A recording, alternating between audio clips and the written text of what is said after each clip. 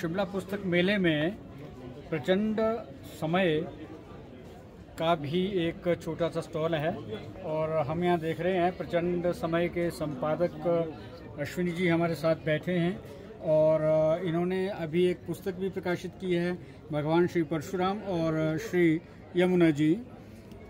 ये दोनों संस्कृति, इतिहास और जनजीवन की दृष्टि से महत्वपूर्ण पुस्तकें हैं।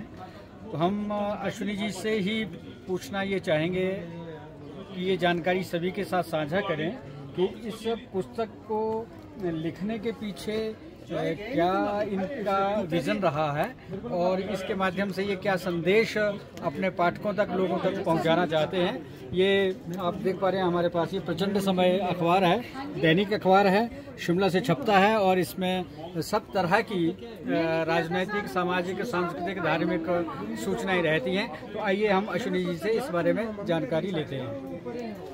परशुराम की किताब के पीछे मकसद ये रहा कि परशुराम का जीवन हिमाचल प्रदेश में निर्मंड और अनकाजी में काफ़ी इनका विचरण रहा है, जिस वजह से लिखी गई है। आपब ऋषि का जब आश्रम सहस्त्र अर्जुन ने जला दिया तो आपब ऋषि ने उनको श्राप दिया कि आपकी जो ये एक हज़ार बाजुएँ हैं, ये परशुराम काटेगा।